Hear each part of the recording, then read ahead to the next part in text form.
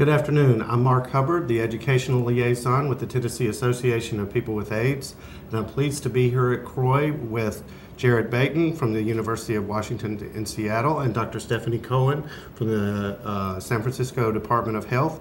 And we're going to talk a little bit about PrEP this afternoon. Both of these researchers are highly acclaimed in the field, but just as importantly, they have great relationships and are engaged in the community, and we see them as advocates and activists as well. I'll start by saying that um, we had two very interesting sessions on PrEP yesterday, and I think it was important to note that the tone was very different than it might have been in previous meetings. In the morning, I've been calling that session the PrEP rally because there was so much enthusiasm for getting PrEP to people who need it now. But we also were sobered a little bit by the afternoon session where we had pointed questions from people who are still skeptical. Do you two want to share your ideas about how we're going to bring the community together and where we are right now on bringing PrEP into prevention as we know it. Sure, thanks, Mark. Thanks for inviting us um, to talk today. I agree. I think that the morning session really, um, there was a ton of optimism around PrEP. And I think that, um, you know, what we're seeing here at this CROI is for the first time, we're really not just talking about does PrEP work? Everyone has accepted PrEP works. We're talking about how do we make it work and how do we get it into communities. Um, I work with the San Francisco Department of Public Health and direct the municipal STD clinic there. Mm-hmm. And we're one of three sites in a PrEP demonstration project um, with another STD clinic in Miami and a community health center in DC. And we've been offering PrEP to men who have sex with men and transgender women for the last year. And we've really found that people want PrEP. Um, they don't necessarily have access to it currently, but once you build a system where you can deliver PrEP in the community, we've had a lot of demand and very high uptake across the three sites, um, across race ethnicities, across age groups, um, and other demographics. So I think um, really, and there was, has been other data presented at CROI illustrating this high uptake as well in, in a lot of settings. For instance, Jared's demonstration project in Kenya and Uganda, 96% or some, so of couples who were offered PrEP um, chose to use it. So I think um, we know PrEP works, and I think we're, what we're starting to see is that people want PrEP, and we need to figure out ways to get it to them. That sounds very good. Did you want to add to that, Jared? I, I want. To, I think I want to reemphasize and thanks, Mark, for organizing this. Uh, it's what a change this is this year from one and two years ago at CROI, where the discussion was much more mixed about whether this was something that that that worked at all for people. And now it's really how to make it work in the real world, how to get it out to, pe- to people who, who want to use it and, and who will use it.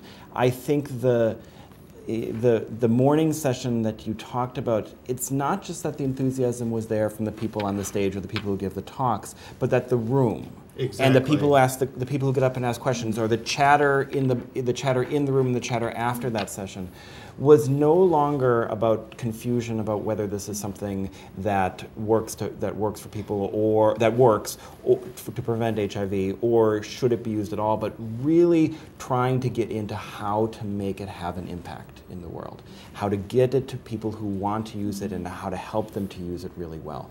Super, super encouraging. Yeah, I found the same thing. It's really reflective what I'm seeing even in Tennessee, where we don't have uh, much in the way of programs to deliver PrEP. We have a small program with Young Black MSM in Memphis, mm-hmm. but we held a forum last fall and we really had hit a tipping point.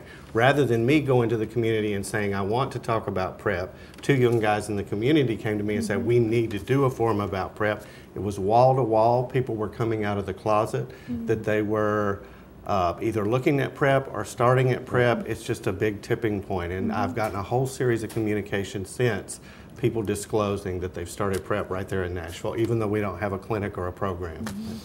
And how good it is to have a have a push from the community in that way. And mm-hmm. uh, one of the one of the most exciting and pointed moments of the morning session was after a, a, very nice descriptive study of, of of HIV incidence and who's getting HIV in Atlanta, and really incredibly sobering news about very high incidence among young black MSM in Atlanta.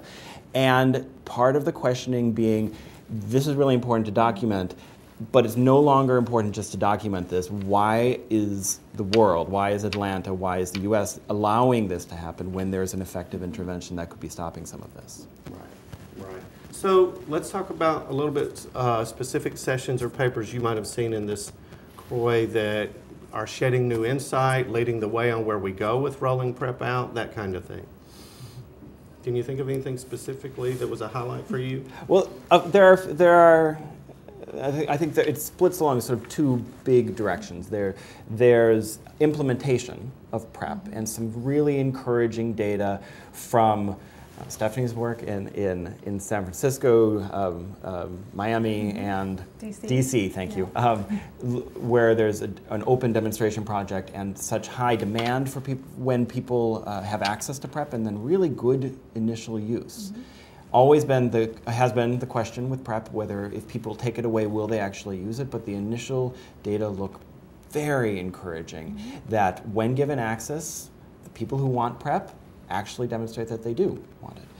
Um, also, really encouraging data. We have data, as, as you mentioned, from, from Kenya and Uganda, where the initial uptake has been has been really encouraging, and then some nice uh, review talks, including in that afternoon symposium, talking about what demonstration the projects might look like worldwide, and the kind of, and some information for communities and providers about how best to um, to prioritize those who might really need PrEP the most right now. And that's I think that's all very encouraging. Then the second part, so that's part of the implementation. The second part is new things for PrEP, and there has been a lot of, of attention to new PrEP agents, um, new PrEP medications, including injectables um, injectable PrEP agents. And uh, the one that got the most attention this year was uh, uh, GSK 744, um, uh, injectable that might have lasting duration for a month to three months of HIV protection, and had very good. Um, what was very good, there were two uh, abstracts presented that demonstrated it worked 100% in protecting monkeys against HIV and also encouraging data about uh, an intravaginal ring containing a medication called dapivirine. That medication is in actually already into phase three trials in, in humans, and the encouraging data was some laboratory data reinforcing that it might work really well. I think those are really encouraging in thinking about um, what we might have in two or five years and it reinforces what a great pathway we've already set up with, with starting to get PrEP out there with, with the oral forms, and how hopefully in two and five years there'll be a bunch of choices available to people. And if we can make real headway in the next two to five years with implementing what we've got now, how we can really hit the ground running in five years when the new things are ready. That makes a whole lot of sense. One thing I run, run into, and I think Stephanie, you might be able to illuminate this with your international work, is folks in the U.S. see this as uh, a product that's only going to be available to rich white men. And I remind them that this product wasn't invented uh, with resource rich countries in mind. It was really invented in a search for something to help women who need a choice in resource limited settings. Can you talk a little bit about what that looks like for po- folks who are not inside the research? Well, I will say most of my work is domestic, so I'll, I'll defer to Jared on some of the questions regarding um, providing PrEP access to women in resource limited settings. But I can say that, that in the US and in the demonstration projects, including ours and others that are now off the ground and rolling, we're seeing a lot of interest across race and ethnic groups. Um, it's not just something that white and um, wealthy, educated men are coming in, in and asking for. However, we have seen that being white and wealthy and educated is a predictor of knowing about PrEP, and knowing about PrEP is important for actually coming in and seeking it. So we, we do have a lot of work to do to actually increase PrEP awareness across communities of men who have sex with men, um, because we know that that awareness, although it's not um, required for PrEP uptake, we actually had people who came into the clinic who'd never heard of PrEP, but upon being educated about it and told it was a prevention option, they chose to use it right then and there. So you didn't need prior knowledge of PrEP, but prior knowledge of PrEP certainly helps in encouraging the, the PrEP seeking.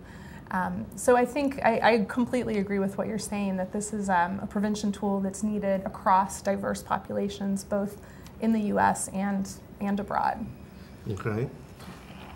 I, I, I might, to some extent in the US, I feel like our biggest gap right now is is the is the knowledge mm-hmm. of PrEP gap. The, the, the, that there, as much as we have worked hard to do the science right, we are lagging in being able to get the information out there. Yeah. That this is something that exists, just that it exists. Right. And and then how to and then how to get it. Mm-hmm. And if, if we collectively, as advocates, right. and, and, and scientists and, and community members can work on bridging that gap, mm-hmm. I think we're going to we would go a huge way. Yeah, I think it's an essential phase in this whole kind of dissemination of an innovation.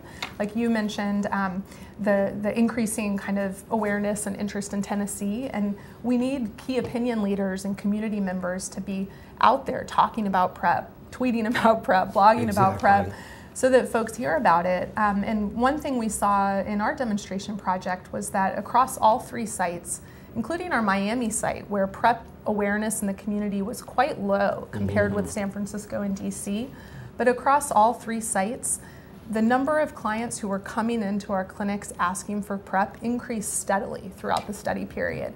And we know some of that was because of our very own study participants going out and talking about it and saying, hey, I'm using this and it's working for me, and do you know about it? And that word of mouth is, is so crucial.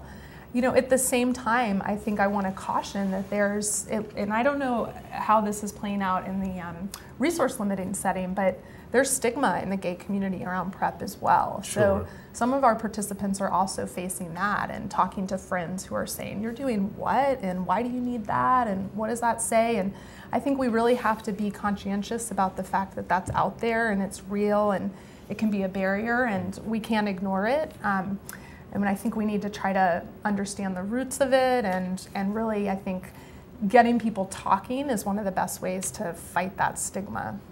Well, and I think that extends not just to the community, but to providers. Absolutely. We certainly run into a lack Absolutely. of knowledge among providers and sort of quoting you know, medical school dogma about mm-hmm. resistance and infection. And so we really needed a concerted efforts. I think it would be great to get the AIDS education and training centers mm-hmm. doing regular training on PrEP across the board because I think that's going to make a big difference. Yeah, I couldn't agree with you more. And we've heard that from participants as well, going to their doctors and saying, hey, I'm doing this. And their doctors either haven't heard about it or they have a reaction that um, whether it's a, a um, with facial expressions or right. body language or words, our participants feel like that was not something that was accepted, and that's a problem. I think the the getting doctors in in all settings. You know, CROI is CROI is a is in many ways a very specialized mm-hmm. meeting. I think many people here are very obviously people come here because they're very knowledgeable about HIV. But this is an intervention, this is the kind of intervention, the kind of medication, the kind of tool that really would, would be great to percolate out into lots and lots of different care settings, to really the kind of primary care places where people engage in care, engage in care that they're comfortable with. Mm-hmm. It's great to see developments in San Francisco, DC, Miami, in these specialized clinics, but, how, but rolling into other places where everyone can get mm-hmm. some message about this and, and get some access to it. Yeah. And kind of just one other comment on that, coming back to some of the science, one of the posters that was presented from Ken Mayer's group from the Fenway um, was based on a big survey, something around 9,000 MSM who are accessing an online um, social networking site. And um, he was looking at how many people had ever used PrEP and what were some factors associated with prior PrEP use very small numbers had used PrEP. This was about, um, the survey was conducted, I believe, at the end of 2013. But one of the things that predicted PrEP use was feeling comfortable talking about sex with your doctor.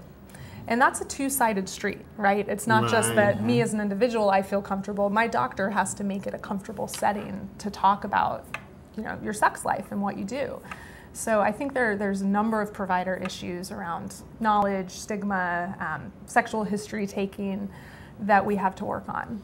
Well, and what I'm really trying to incubate in, in my region is cooperation between those doctors who may not have time or may not be as competent right. with that kind of uh, counseling, testing, adherence counseling, to work with the local ASOs and build partnerships Yeah. so they can share that load. It's a certainly part of the model. solution. Anything else you two wanted to add? I think we would be remiss if we didn't remind folks that there's a myth out there that it is difficult to get PrEP paid mm-hmm. for, and that we are getting great reports anecdotally that people are being able to access PrEP. I got a, a, a, a friend of mine started blogging about his experience taking PrEP this week, and the drugstore was actually very proactive in helping him to mm-hmm. access both pre-approval for his insurance and a mm-hmm. discount card for his copay. Great. So the community is coming together on that. I think it, people need to know that that's out there. The other thing I will say in the community that's going on that's very old school and reminds me of the early days uh, in the gay and bisexual men community in the early days of HIV, we're compiling lists of supportive doctors. And I don't think it'll be long before we start sharing those lists so people will know Yeah. where it's safe for them to go and uh, get this information and get supportive help. That would be incredibly useful. Yeah. So I just want to thank you both for generously t- sharing your time with us today. I think this is a really important topic. I look forward to seeing you at the next CROI. Thanks, you. Mark.